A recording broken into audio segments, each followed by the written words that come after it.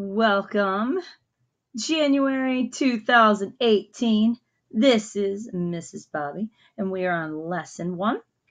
And this whole module, pretty much, is all going to be based around zero and the integer system, which are positive and negative whole numbers like 1, 2, 3, 4, negative 1, negative 2, negative 3, negative 4.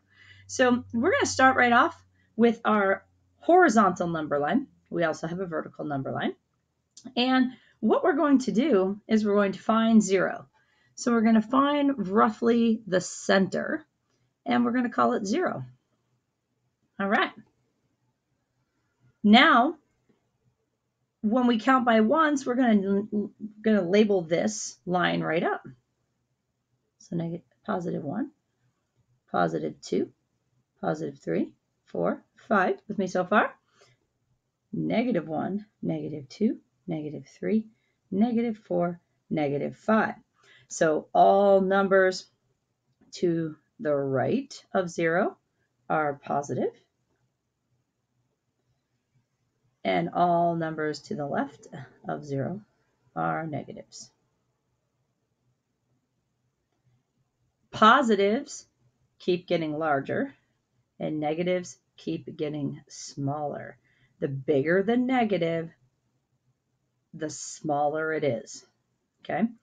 So we're going to talk a little bit about absolute value in here too. And absolute value is how far away from zero a number is. So for instance, this negative five the absolute value of a negative 5 would be 5 because it actually is 5 jumps away from 0. So that would be the absolute value of negative 5. But if we also look at it, the absolute value of a positive 5 is also 5 because it is also 5 steps away from 0. So now we're going to plot a number on this number line. So let's say 4. I'm going to plot 4. And now we're going to look at what is the opposite of a positive 4. So we find 0, which is the center, and we say, what's the opposite of the positive 4? Well, that's 4 jumps away from 0 here. So 4 jumps away from 0 here would make our opposite of 4 a negative 4. So opposites positive 4, negative 4. So explaining how we found the opposite of the number on the number line is we can bring in that absolute value talk that we were we were saying before. The same distance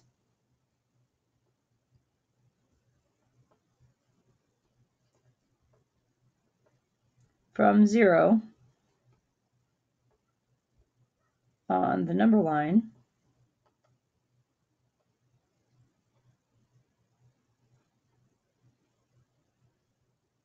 You will find an opposite.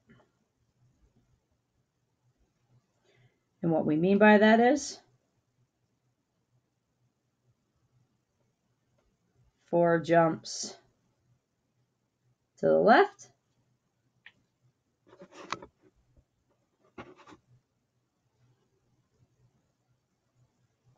opposite is four jumps to the right. All right, so we kind of did three already. We did one already, which is when we plotted our four.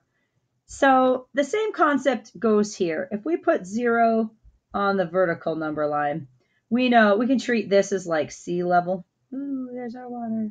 So anything above sea level is above sea level. And anything that falls below sea level would be negative. Does that sound good? Below means negative.